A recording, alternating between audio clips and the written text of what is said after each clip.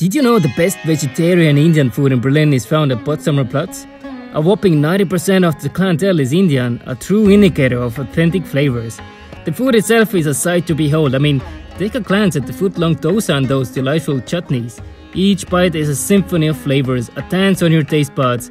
The mango lassi is the perfect companion to these dishes, elevating the experience. But here's a pro tip. If you go within a week, book a table. If you go over the weekend, Go before noon and secure a spot, otherwise, be prepared to wait.